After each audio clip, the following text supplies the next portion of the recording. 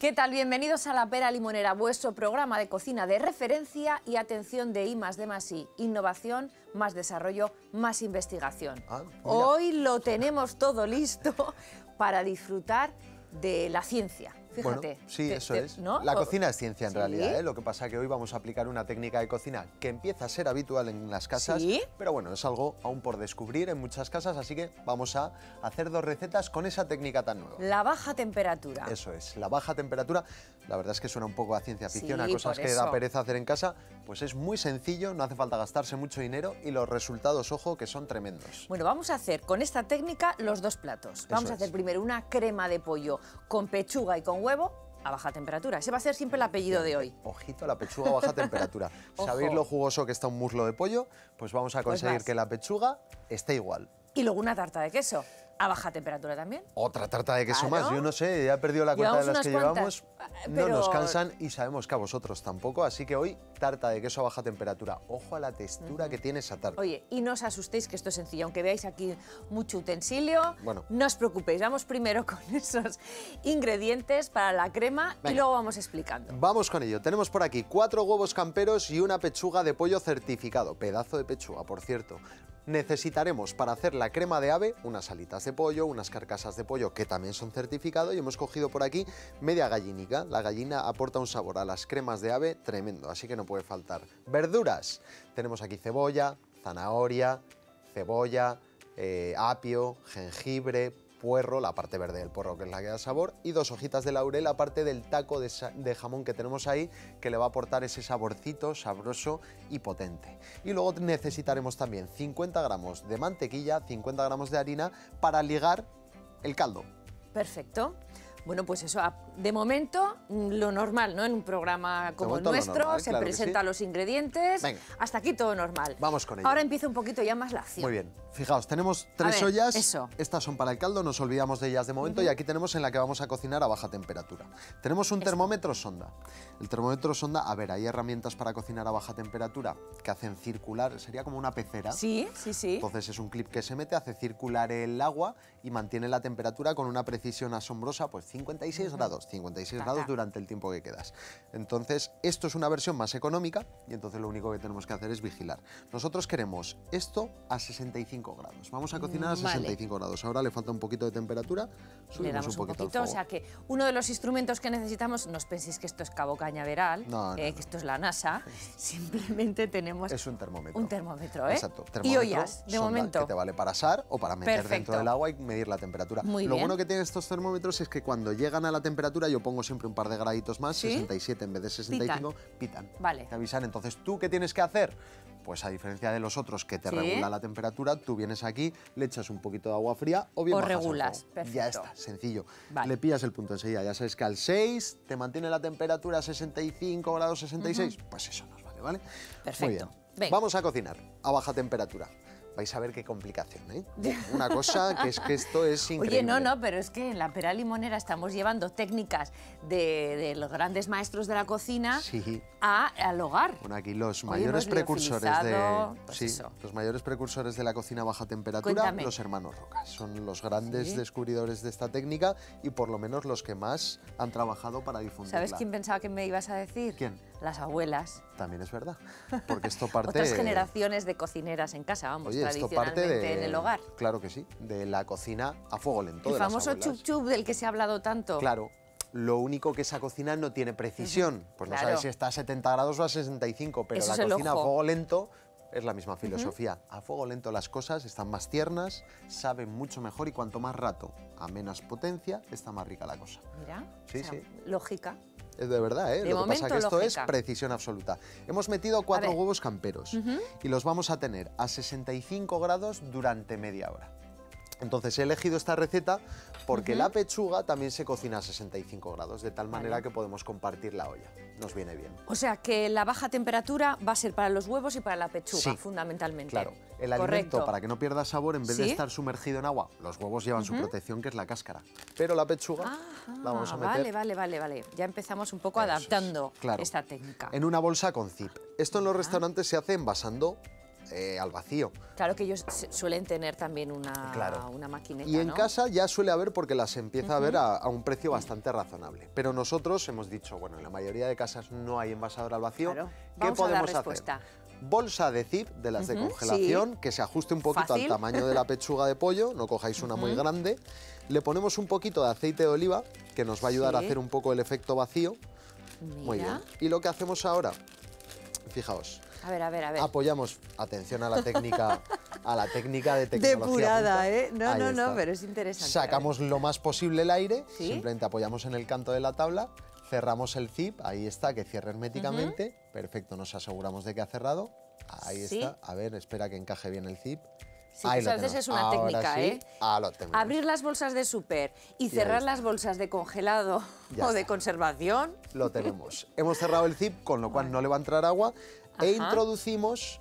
Perfecto. Y como no tiene tan apenas aire, pues no flota. Si veis que flota un poquito, ¿qué podemos ¿Qué hacer? hacemos? Atención. Tecnología punta uy, también. uy, uy, uy. Le metemos una cucharita que pese y ya está, sumergida está. La Tal pechuga. cual. Perfecto. Eso Pero- era lo que queríamos. Pero el tiempo va a ser distinto para la pechuga. La pechuga tiene que estar una hora a 65 grados, los huevos media hora. Entonces, cuando pase media hora, que ya nos hemos puesto el cronómetro, lo que haremos será sacarlos a agua fría para cortar la cocción. O sea, comparten temperatura, pero no tiempo. Correcto. Vale. Muy bien. Vamos con la crema, esto ya sí que es muy tradicional. Venga, vamos con ello. ¡Qué tensión, madre mía! Esto ya nos olvidamos, ¿eh? Media hora y una hora. Bueno, No, pero, pero es, un, es un claro ejemplo ¿no? de, de cómo la investigación científica llega a la cocina, ¿no? Sí, y esto que Se pues hoy aprovecha. no es muy habitual en los hogares, pues no sé, igual que hace tiempo en los hogares no había ralladores afilados, o no había mandolinas y ahora las hay, claro. o no había jengibre, también ingredientes. Sí, sí. Bueno, tenemos aquí, atención a, A los ver. ingredientes que son importantes. Muy económicos. Precio de coste de todo esto, quizá dos euros y medio para obtener Sí, sí. cuatro litros de un buen caldo. Esto es para cuatro personas, ¿eh? Gallina, carcasas, salitas, las piezas más humildes y luego Sí. el jamoncito que aportará siempre. Claro. Para que nos salga bien limpio el caldo, lo que vamos a hacer, agua hirviendo, esto no se suele hacer, pero a mí me gusta mucho, y escaldamos en agua hirviendo. Ajá. Así arrancamos un poquito la suciedad de la carcasa, pues la sangre que pueda llevar, se nos queda aquí, si os Sí. fijáis el agua se pone un poco turbia y se ensucia. De hecho, ya se está viendo. Ahí está. O sea, esto es simplemente más para que la limpieza sea más precisa. Eso es, para quitar un poquito Sí, pues, sí. la sangre que pueda llevar, etcétera. Y ya pasamos ya al recipiente donde va a ir el caldo. En este caso una olla express. Muy bien. Que es prácticamente lo contrario sí, a la sí. baja temperatura, porque es altas temperaturas, pero para aquí nos vale Hombre, perfectamente. A ver, lo que está claro es que si os gusta ir, por ejemplo, de restaurantes, ahora es también incluso una tendencia, porque en muchísimas cartas ves el sobrenombre ¿eh? a baja baja temperatura, sobre temperatura. todo el O sea, huevo es a una baja tendencia bastante clara en, en cocina, pero bueno, lo interesante es poder llevarla al hogar y disfrutar de sus ventajas, Claro que sí. ¿no? Hombre, yo creo que si habéis probado Son un huevo a baja ventajas. temperatura, habréis probado una textura completamente diferente. Las cualidades organolépticas, las vitaminas, el sabor del alimento se conservan muchísimo más. O sea que es bueno en todos los sentidos. Y en el caso, por ejemplo, de las carnes, pues se queda la textura mucho más melosa. Mucho más Eh, las carnes que tienen muchos tendones, mucho cartílago, O pues las que tienden a quedar secas. O las que tienen que quedar secas. Claro que sí. Eso es. Muy bien, la verdad es que sí. Que es Y el pescado también se puede hacer a baja temperatura. Todos los alimentos, Sí, sí. absolutamente todos, se pueden hacer a baja temperatura. Los pescados pues se hacen en media horita, 20 minutos, 15 minutos. sí. Las carnes hay algunas que puedes tenerlas hasta 24 horas, pero al final baja temperatura. Y además, al cocinar a baja temperatura hay que tener en cuenta que se gasta mucha menos energía, porque hay gente que dice, ¡Hala! 12 horas el fuego que encendido. no puede ser si lo eso. tienes 12 horas a 50, os aseguro que en muchas ocasiones gasta menos que ponerle el pepinazo de la potencia al turbo, ¿eh? De verdad, es así. Pues mira, estas son raro. también falsas creencias Sí. que tenemos en la cocina de lo que gasta más, lo que consume más y lo que consume menos. Eso es. Y luego, fijaos, Muy bien. Ahí lo oye, tenemos. cómo se Bueno, ha quedado eh, de turbia el agua. Escaldamos. Cierto, cierto. Aquí tenemos la se suciedad, está limpiando. pero no hemos restado absolutamente o prácticamente nada de sabor. El sabor lo tenemos aquí, que era lo que queríamos. Muy bien. Muy bien, aparcamos por aquí y le metemos todos los vegetales, que van a ser, bueno, los vegetales, el primer vegetal ya en la frente, el jamoncito, que no hace falta escaldarlo ni nada, porque vamos, es todo sabor y no tiene nada de impurezas. Ponemos también cebolla, la cebolla con la piel lavada, pero la piel puede entrar. Tal cual. Tal cual. Unos tallos de cebolleta. Ponemos un poquito de apio, unas ramas de Ah, apio. Muy ahí está. bien. Que le sienta Zanahoria. muy bien. Zanahoria además de la buena. Sí. De la de huerta. De las de dibujos animados. Sí, Esta es Bugs Bunny total. Sí, y no hace falta ni pelarla, porque la piel también es dulce, o sea que lo único que tiene que estar es lavada. Sí, la sí. parte verde de un puerro, también. Ahí. Por eso decimos, Va. nunca tiréis la parte verde de un puerro. Claro. Eso es.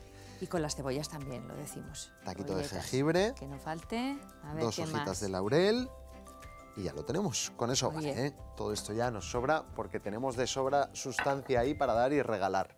Ya te digo, menuda crema que va a salir de aquí. Ponemos la tapa, sobre todo, y aunque no lo usemos como olla expresa aquí porque hemos rebasado con Sí. creces el nivel, ponemos un 4, un fuego suavecito y lo tenemos durante una hora.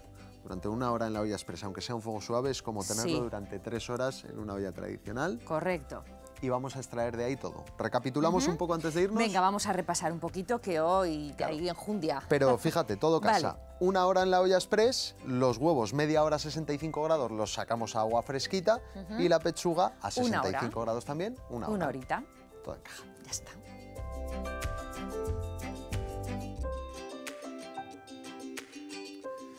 Bueno, pues ya tenemos todos los frentes dispuestos. Venga, Caldito de ave por aquí. Vaya caldo de ave que ha salido. buena pinta tiene, sí señor. Por el color lo reconoceréis. Y tiene un poquito de grasa por arriba, pero no se la vamos a quitar. Vamos a dejar ese caprichito y no lo vamos a desgrasar demasiado. Venga. La que ha soltado. Estoy de acuerdo, ya que estamos... Ya está, claro que Esto sí. es una menudencia, hombre. Muy bien. No puede ser. Vamos a ligarlo porque lo que vamos a hacer es una crema. Entonces, mira, esto se llama velouté, que es partir de una base que sería parecida a la bechamel, si te fijas. Mantequilla y harina, Sí, sí, sí. solo que en vez de leche le vamos a poner el caldo de ave. Ah, muy bien. Y que supongo que será francés ese término, Por que tendrá que ver con la, con la sedosidad, ¿no? Un poco. Pues supongo que Sí, sí, sí, sí. supongo que sí, pero el caso es que efectivamente queda una crema Claro. súper sedosa y que le da un toquecito muy bueno. Tanto la mantequilla como la harina aquí funcionan muy bien con la crema. Qué bien. depende de la proporción que Sí. uses, puedes usarlo como salsa, como crema, algo más ligadito. Y alguna vez hemos hecho también veluté aquí, en Alguna la pera limonera. claro que sí, como que siempre. I remember. Muy bien. Tenemos Sí. por aquí la mantequilla y la harina, eso no cambia. Igual exactamente que en una Sí. bechamel tienen que cocinarse muy bien para que luego no sepa. Y mezclarse bien. Ahí está. Bueno, Que no nos gusta que sepa harina. No, que eso también muy Encontrar bien. los trocitos de harina. Fantástico, sobre todo ese sabor astringente que tiene ahí, que lo notas en la lengua que se agarra, es muy desagradable y oye, todo el trabajo lo echas por tierra. Mira, además, eh, velouté, Sí. estaba yo dudando, pero es cierto, vel- velouté significa aterciopelado. Aterciopelado, pues efectivamente, como yo. Por la textura, la textura textil, sí, como tú. Aterciopelado como un gatete. Eso es. Igual. Muy bien, bajamos el fuego, ya tenemos con ese hervor que tenemos ahí, ya Sí, estamos cocinando ya la harina. Se El empieza a ver que tú está burbujeo. ligeramente, Sí. con lo cual eso es la- lo que queríamos. Jo, qué y ahora entre esto y esto, uf. te voy a dejar al De mando que tú ya eres una experta en bechamel y vamos a trabajar exactamente igual, solo que cambiamos la leche por caldo de ave. Vamos a bajar el fuego, esto ya lo tenemos muy calentito. Acércate para hacer el caminito corto Sí. y vamos echando pues de tres en tres cazos, por ejemplo.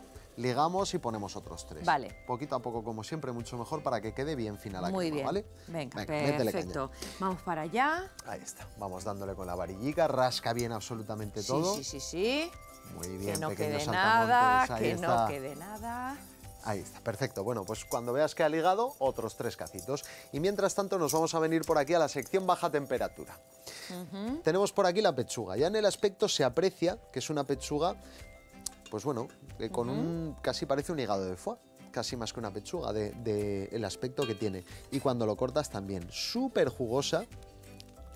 Y tiene, bueno, sobre todo, cuando te la metes en la boca, es cuando se nota del todo. ¿Sí? De verdad, es una cosa increíble. Es Bueno, que- de hecho ya el aspecto que tiene es que Mm. ha cambiado completamente. igual que el muslo de un pollo de jugoso, exactamente igual Sí, sí. está esta pechuguita. Vamos a aparcarla por aquí un momentito y vamos a centrarnos en los huevos a baja temperatura. Los tenemos por aquí, por cierto, se refrescan en agua fría, pero si luego te los Por quieres comer al día siguiente, por ejemplo, que se pueden guardar, lo que hay que hacer es volver a meterlos en agua Claro. tibia. Es que esa era una de mis cuestiones Sí. con el tema de la cocina a baja temperatura. Por ejemplo, tú eres previsor, ¿no? Lo haces la víspera, pero te lo quieres comer al día siguiente. Se puede. Una vez claro, he hecho el esfuerzo de trabajar a baja temperatura, si no te lo quieres tomar a temperatura Imagínate- ambiente, ¿cómo lo calientas o cómo lo haces? Claro, Claro, pues ¿qué imagínate en el restaurante que te piden una pechuga a baja temperatura, te vas a poner, no, espérese una hora Claro. que salga el plato. O sea, ¿qué- qué- se cómo tiene se cocinado, hace? bueno, pues tienes agua a 65 grados, coges, la sacas de la nevera, la metes 5 minutitos hasta que se vuelva a temperar y ya está. Pero no a más temperatura, pues entonces todo el trabajo anterior no valdría para Claro. nada. Muy bien. Es que y aquí si no es tenemos un los huevos. Ya Tenía yo- temperados. los- Tenía yo la duda total. Muy bien, cascamos y ahora vais a ver la textura que tiene, que es completamente diferente a todas. Mira, ver. el huevito Ay, a baja sí. temperatura. Si son huevos bien frescos como Qué este, bonito, además, la ¿eh? clara queda completamente rodeando al a la yema y la textura es increíble. Fijaos que, bueno, pues queda cremosa, cremosa, cremosa. ¿sí? Podéis hacerlo incluso más líquido, depende, ¿eh? lo que queráis, pero fijaos qué cremosidad está. Untuosidad es Oh. prácticamente imposible conseguirla si no es, pues eso, con un termómetro. Alguna vez puedes acertar, pero va a ser difícil, ¿eh? Así que un termometrito de esos nos viene de maravilla. Oye, ¿y cuánto crees que puede costar un termómetro de este? 15 Curiosidad. euritos, Momento- 15 euritos. momento el precio justo. Entre 15 y 20 15, euros los 20 tenéis, o sea que Pues, para que veáis que estamos hablando de cosas muy asequibles. Bueno, pues mientras Aitana liga, Sí. el... Yo soy muy de ligar. Bueno, pues mientras Aitana sigue ligando, que lo está haciendo muy bien, yo le voy a poner un poquito de sal en escamas, de aceite de oliva virgen extra y voy a comprobar que esté todo en orden, ¿vale? Claro. Es que es fundamental esta parte. Sí, sí. Y más de más y. Generosos con la pimienta, una cremita de llevarla. Claro que sí. Muy bien, la hemos afinado de sal, ya la tenemos lista. Sí. Por aquí unos maravillosos costrones, The Sound of the Costrones.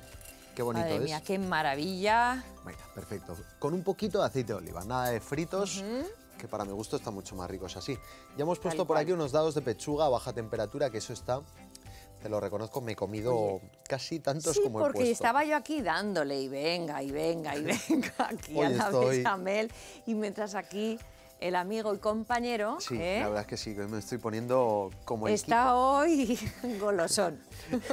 eso con el tema, con la excusa de la baja temperatura y que hay que estar como con mucha precisión. Probar las ¿eh? cosas, esto es con así. todo y muy pendiente de varios frentes, pues claro, me despisto yo y mira. Pues eso es lo que ha sucedido. Fijaos, cual, ¿eh? esta maravilla de huevo siempre es bueno cascarlos en un recipiente aparte y luego de ahí los pasamos Sí, al que va a ser el plato. Porque puede caer alguna cascarita, porque se te puede Sí, romper, cualquier sí. cosa, entonces siempre mejor en un recipiente aparte. Ya lo tenemos y ahora lo que vamos a hacer, Bueno, poner unas ver. semillitas por aquí, encima de la pechuga, para que le dé el toque crujiente, aceite de oliva virgen extra encima de absolutamente todo, que eso Sí. nunca va a fallar, sal en escamas y vamos con la cremita en el hueco que falta. Que Ya irá, irá así, eso, irá como regando, ¿no? Eso es, importante, la crema se pone en el último momento porque la crema está muy muy caliente, está hirviendo. Así es. Entonces, si dejamos la crema puesta encima Sí. de la pechuga y del huevo durante mucho tiempo, ¿qué es lo que va a pasar? Que ya no va a ser a baja temperatura.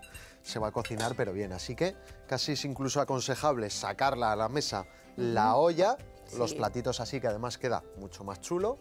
Y una vez en la mesa, Ya servirse. tacata, se sirve y se come todo. Yo creo que también. Venga, Estoy de acuerdo. pues Ahí, ahí ahí, lo oye. tenemos, demostrándolo. Ponemos en un huequecito y como siempre decimos, ponemos en un huequecito que fluya y así quedan todos los ingredientes a la vista. ¿Qué te parece? ¿Qué aspecto tiene Bueno, esto? Pues estoy contentísima porque hemos demostrado que se puede hacer baja temperatura en el hogar y tener como resultado pues eso, una crema de pollo con pechuga y huevo a baja temperatura. Y a bajo precio. Eso es.